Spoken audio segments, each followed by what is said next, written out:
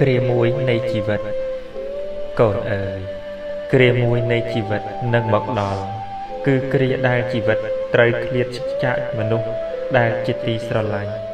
ឃ្លាតចាករបស់ធ្លាប់ប្រើប្រាស់ឃ្លាតចាកភពផែនដី ដែលធ្លាប់រស់នៅ ពេលនោះកូននឹងធ្វើដំណើរទៅតែម្នាក់ឯង គ្មានអ្នកណាសូម្បីតែម្នាក់រួមដំណើរជាមួយយើងឡើយ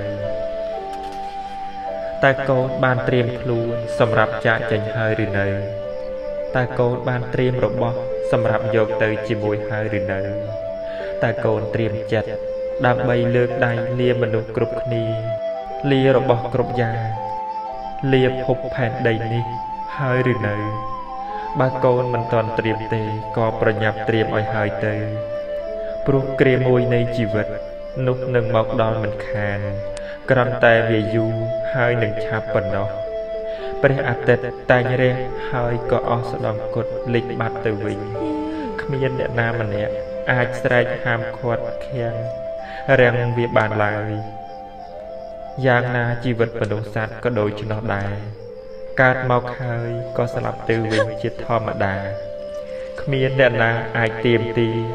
សំអង្វរកកុំឲ្យស្លាប់បានឡើយព្រោះនេះហើយគឺជាការពិតនៃជីវិតអញរះហើយលេចជាកិច្ចធម្មជាតិជីវិតកុំឃ្លាតជាធាតវិបលាតែងអស់ស្ដង់គុតរលត់រហ័សដោយកូនឃើញច្បាស់ជាក់នឹងនេត្រាណាកូនណា